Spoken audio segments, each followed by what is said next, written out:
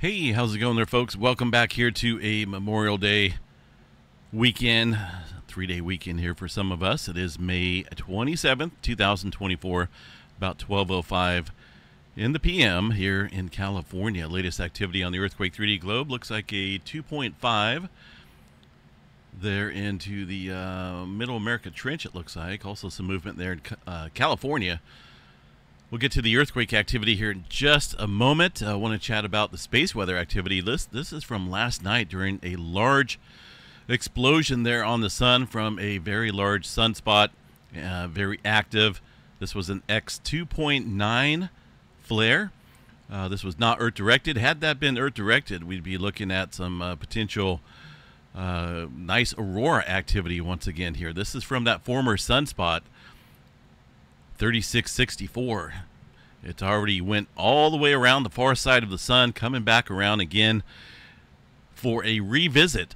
And it looks as though this active region will continue to produce large flares and all, obviously the uh, threat of massive CMEs in the Earth directed view once it's over here into position. But this was last night. Goodness, shot off a huge amount of plasma from that X flare. A look at the activity here today. Let's show you guys a flare from last night on the chart. Way up there, about an X2.9 or so. That was a uh, fairly explosive event, as noted. It did have a CME, obviously, but not Earth directed. We're still flaring here with some C flare activity. Uh, let's see if we can get a, a, little view of this sunspot coming around, getting uh, a little bit better angle of it over here on the southeastern limb of the sun. Quite dynamic and complex in terms of the magnetic structure that that sunspot harbors. Now there is some uh, flaring going on up here across the northern northeastern uh, quadrant of the sun as well. But I think all eyes are going to be on this region here coming around the southeastern limb. Uh, so let's see if we got a little magnetogram image of it. Just barely, barely getting a, a glimpse of it. Remember when it went over here a couple weeks ago, it was still quite dynamic, throwing off X flares. When it was on the far side of the sun, it did produce a massive explosion as well, full halo CME on the far side of the sun. Most recent here was last night, and I'm sure uh, I can only assume here that we'll continue to see uh, explosive activity and the chances of Earth directed um, space weather events here soon once this is into a little bit better perspective, a little bit better position, I should say.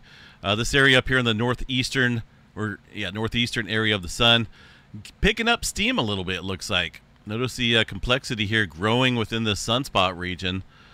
Uh, this was looking a little disappointing here when it came around the bend, when it came around around the uh, northeastern limb. But it looks like things are starting to uh, develop and intensify within this region here. So we got 3691 and the unnamed sunspot down here, old sunspot 3664. Again, that's the source of many X flares and the recent historic aurora events here uh, weeks back, earlier this month. Um, unnamed, but I'm sure it will get a name here once it's a little bit more viewable on the Earth facing side of the sun. So overall threat right now has been elevated. C flare at 99% chance, M flare at 60, and X flare. There you go, 25% chance here, and I'm sure that will remain uh, at least this elevated conditions as the uh, sunspot enters into view uh, more uh, directly. Could go up. No major auroras in the forecast for now, but uh, obviously that could change with this very active region. And again, a couple active regions. The one growing up here in the northeastern limb, and the uh, the old sunspot 3664 coming around. All right, uh, what do we got here for earthquake activity? A little swarming going on here south of the border uh, into the Baja California region. Now, mostly twos and threes. It did start off with a four this morning. Uh, so elevated earthquake activity here once again across Southern California as well. We did see some movement near the uh, Borrego Springs area, and overall, somewhat an elevated uptick in earthquake activity here in the last 24 hours. So this whole region right here looks like it may want to uh, continue to swarm, and uh, as always, there's that potential of some larger scale movement out here. Uh, you know, during the last couple weeks or so, we've seen several different swarms uh, down here south of the border, near the Brawley seismic zone, a couple near the San Jacinto fault zone, and you know it, this is continuing today. So overall, got to keep an eye on the southern area here of California uh, with its proximity on the plate boundary, the San Andreas Fault here, the southern branch, very capable of producing a large damaging earthquake here in the future.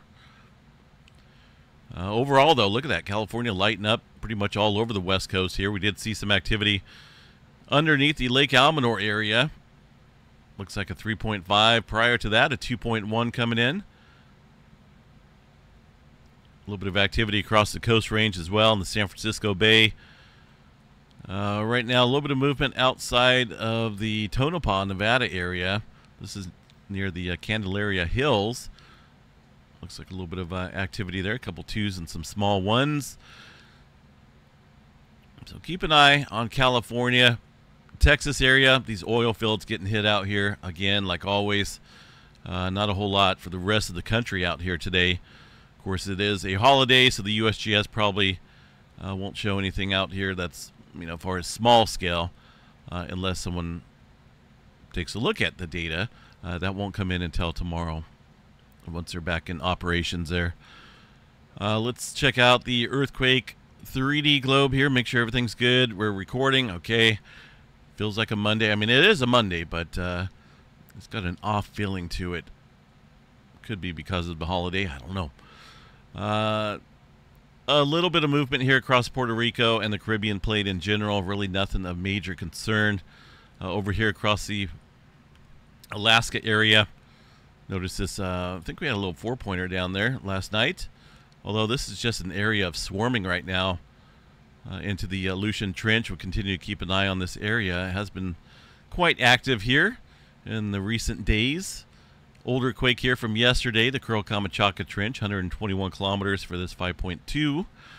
And uh, the area down here that's been rocking and rolling here recently with sixes. Uh, looks like most of the movement here scattered out and about. We did see a lot of deep activity here into the Tonga Trench and subsequent shallower earthquake movement here. And uh, really haven't noticed any major change out here. Uh, Solomon Islands did see a 5.2 yesterday. The latest one in this area, 4.7. That's going to be back over here across the plate boundary. Very shallow, south of Vanuatu area. so this area bouncing back and forth between deep and surface adjustment still needs to be watched here. There's been a lot of sixes out here in the last few days. A couple sixes, I should say. I shouldn't say a lot. But uh, we'll continue to keep an eye on this region here uh, for some further movement with that activity ongoing. New Zealand couple three stirring up down there. Nothing major for now. Uh, looks like we did have a couple fours here further south along the Kuril Kamchatka. Nothing being reported here by the USGS. So that's why I always like to keep the EMSC data on the globe as well, as there is earthquake activity not being reported. And uh, it's within that range where they should be reporting it. Uh, let's see here. Some movement yesterday around China area.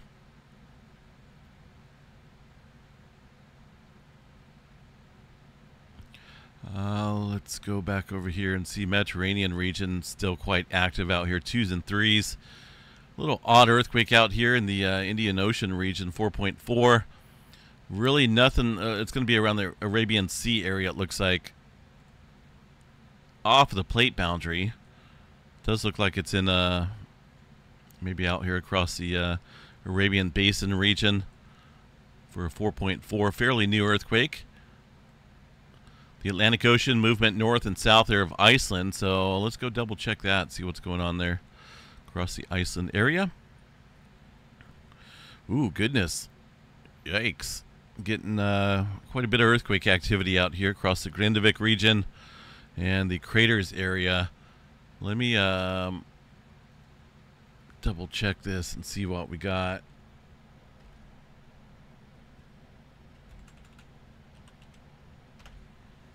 We'll go to the Live from Iceland site here. And uh, doesn't look like there's anything. Man, those clouds are just zipping along up here. Uh, there at the surface, I don't see any visual eruption there. Maybe some smoke out there in the background, some volcanic gases, but uh, really not seeing anything of interest in terms of the eruption. But goodness, we got a lot of earthquake activity stirring up out there. Uh, this update from the Icelandic Met Office, the folks that monitor the um, ongoing eruption activity, or well, the ongoing recent on uh, eruptive activity here, has been uh, site. And right now, as of right now, there's uh, it's an older update here from a few days ago, so uh, I don't know if they're going to get to that today or not. But definitely seeing some earthquake activity on the uptick here today, and if we include all of these smaller ones here getting quite a bit here south, just right around the uh, just outside of the Grindavik area here. A little concerning, obviously, because there is that potential of seeing a magma intrusion in this area with eruptive fissure activity taking place here. So we do got to watch that. That's the last 24 hours, last 12 hours. Uh, still shows some movement out here across the area and, of course, around the crater area where the most recent um, eruption activity took place. I think it was a little bit more south here, but Either way, we'll continue to watch it. Broad scale uh, activity here across the rift zones taking place here in the last 24 hours. And of course, that's a time to be vigilant and watch the area down here uh, for some eruptive activity. I don't think this is the event that we're looking for in terms of hundreds of earthquakes within a short amount of time, but it looks like it is increasing out here. So we'll keep an eye on this throughout the day today. Uh, let's see here. That was kind of weird. Make sure I got the most recent data here, which I do.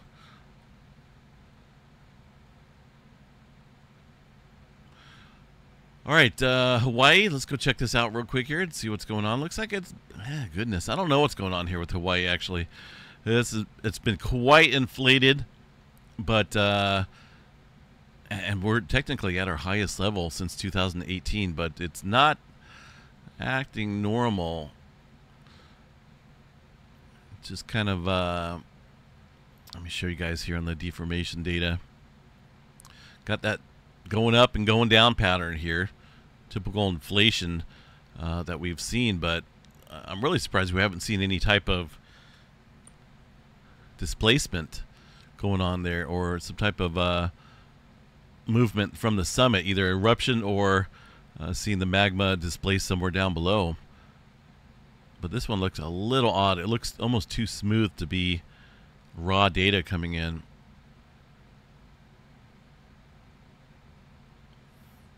So there's our highest level. And of course, if you look at the uh, the years, we're up there. Highest level seen on the inflation at the summit since 2018. So things are uh, getting close. Uh, as far as earthquake activity goes, let's see what we got here across the summit area. That one's not working. Infrasound. Yeah, earthquake activity fairly minimal. Only handful of smaller quakes there in the last 24 hours, so really not a not a big change.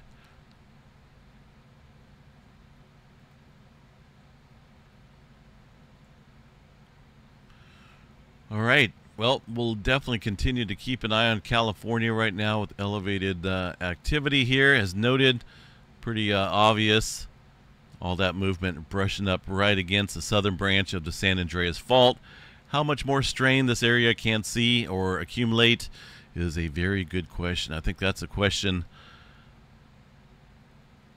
that's been uh, questioned for many, many years.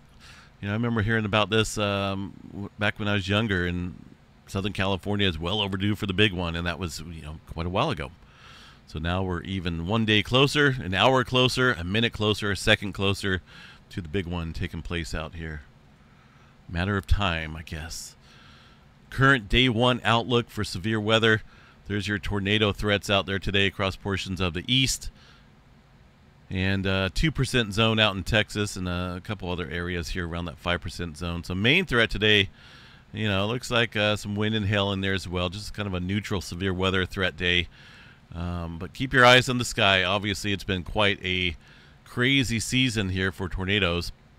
the severe weather threat returns back here across Texas uh, with a 2% chance for tornado activity for Tuesday. Not a big deal, but there is that potential. Main threat, I think, is going to be some wind and some large damaging hail that Texas is also known for.